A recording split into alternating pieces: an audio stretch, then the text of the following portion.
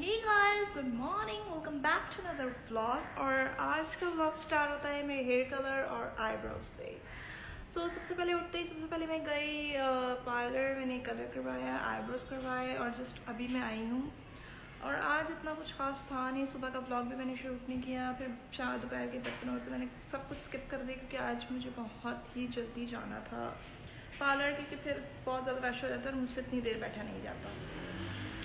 तो जस्ट मैं अभी वापस आई हूँ और अभी उसके बाद मैं ब्लॉग बनाना स्टार्ट कर रही हूँ और आज मुझे बनाना है केक क्योंकि मुझे बहुत ज़्यादा कल रात से मीठे की क्रेविंग हो रही है। तो मैंने सोचा कि चलो आज केक बनाते हैं और छोटी सी वीडियो भी डाल देंगे हम यूट्यूब पे। और प्लीज़ सब्सक्राइब कर दिया करें बेल आइकन को दबा दिया करें और टिकटॉक वालों प्लीज़ लाइक एंड शेयर कर दिया करें। बाय बाय रोज़ रोज़ समझ में ही नहीं आता कि बंदा क्या बनाए क्या ना बनाए रोज़ एक ही एक ही प्रॉब्लम कि बंदा क्या बनाए क्या ना बनाए क्या बनाए क्या ना बनाए हर चीज़ बना लेता है, पूरे हफ़्ता क्लियर हो जाता है, उसके बाद फिर दोबारा से जब नया हफ़्ता शुरू होता है तो समझ नहीं आता बंदा आज क्या बनाए कल क्या बनाए संडे को क्या बनाए मंडे को क्या बनाए मैं तो इस परेशानी से बहुत तंग आ गई हूँ। तो अगर आप लोगों के घर में भी यही प्रॉब्लम होती है तो प्लीज़ गाइज़ मेरे से शेयर करें। मुझे कमेंट बॉक्स में बताएँ कि आप लोगों को भी यही मसले होते हैं रोज़ रोज़ के बंदा क्या बनाए। और इससे ज़्यादा कुछ करने के लिए मेरे पास होता नहीं है।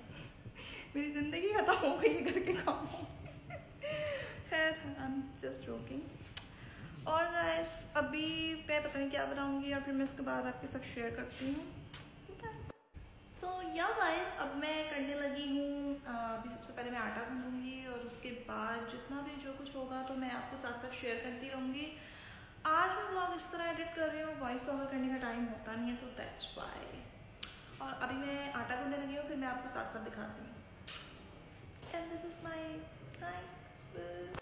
so ये देखिए गाइस मैं आटा गूंदने लगी हूँ, जिसको भी लगता है, हम टिकटॉक बनाने वाली लड़कियाँ काम भी करती निकम्मी होती हैं तो वो बिल्कुल गलत है। मुझे अपने घर के सारे काम आते हैं, मैं सारे काम करना जानती हूँ। बिकॉज़ आई लव तो अभी मैं करने लगी हूँ। आटा को मैं गूंद लूँ उसके बाद मैं स्टार्ट करती हूँ। तो जैसे कि आप देख रहे हैं मैंने आटा गूंद दिया और मैंने बाउल में भी रख दिया है। और आटा जो मैंने गूंदा है वो मैंने अभी दोपहर के लिए नहीं गूंदा मैंने शाम के पराठों के लिए गूंदा है और कल सुबह के लिए गूंदा है। और आज पता नहीं मैं क्या बनाऊँगी मुझे समझ नहीं आ रहा ज़िंदगी झंडवा फिर भी घमंडवा समझ ही नहीं आता बंदा क्या करे। रोज़ रोज़।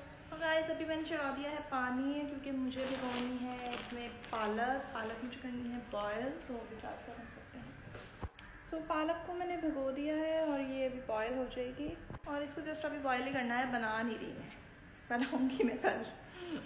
और जिस दिन मुझे कुछ नहीं बनाना होता, उस दिन गैस आ जाती है, और जिस दिन मुझे कुछ बनाना होता है ना, उस दिन गैस ही नहीं आती। और आज देखिए कितनी तेज़ गैस आ रही है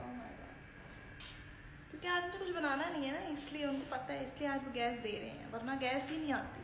तो ही गाइस मैं नहा धोकर हो चुकी हूँ फ्रेश और मैंने पत्नी आज कैसे बांधा ये मेरे बाल पीछे जा रहे हैं। और पालक भी हो चुकी है, मैं पालक को निकालूँगी स्टेन करूँगी और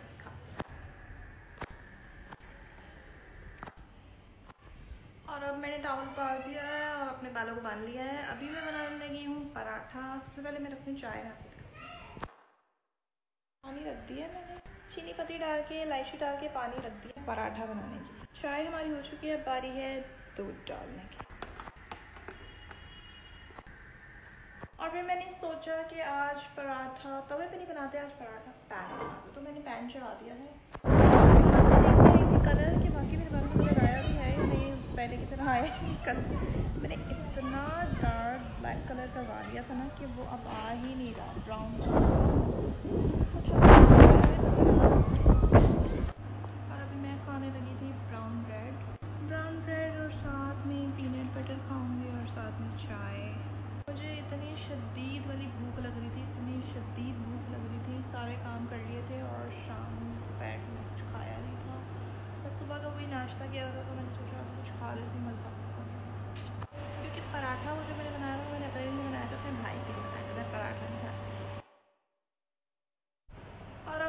खा लिया था शाम का जो भी मैंने बताया ब्राउन ब्रेड और वो। फिर तबीयत बहुत ज़्यादा लो हो रही है। अभी मेरे इतनी बर्तनों का ढेर पड़ा हुआ है अभी ये बर्तन भी धोने फिर मिलते हैं। फाइनली किचन हो चुका है क्लियर रूम भी क्लियर हो गया है। और अब मैं आ चुकी हूँ रूम में और ये दूसरा रूम है और इसको क्लियर करना अभी बाकी है। और हो सकता है मेरे केक की वीडियो नहीं मिलेगी क्योंकि वीडियो बहुत ज़्यादा लंबी हो जाएगी। तो केक की वीडियो शायद आपको नए ब्लॉग में मिलेगी या दो से तीन दिन बाद मैं अपलोड करूँगी, तब मिलेगी। तो और अभी मैं रूम चेंज लगी हूँ। तो यहाँ मैंने स्प्रे कर लिया, थोड़ा सा टोनर और फिर आईब्रोज भी थोड़े से सेट कर लेते हैं।